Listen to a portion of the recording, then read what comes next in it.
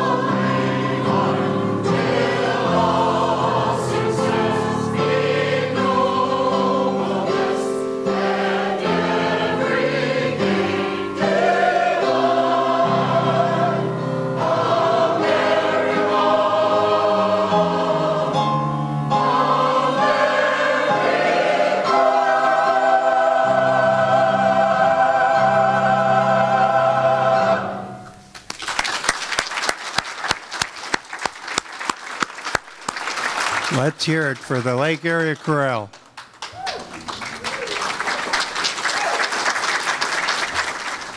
When, when, I, when I went on my honor flight last year, um, every veteran is assigned a guardian, and and um, I was one of the lucky ones. Uh, my guardian was Dave Tolkien, and and he's he's a great guardian, great guy. He's been on 13 honor flights. Actually, 22. 22. Okay. We added a couple. Wow, he's been there. He's been a lot more than I thought. Uh, I think uh, he was being humble when he told me 13. uh, I'm going to turn this over to Dave. Uh, ask him to to tell you all uh, some things about the honor flight, Central Missouri honor flight, and um, you, you have it. Thank you, Bob.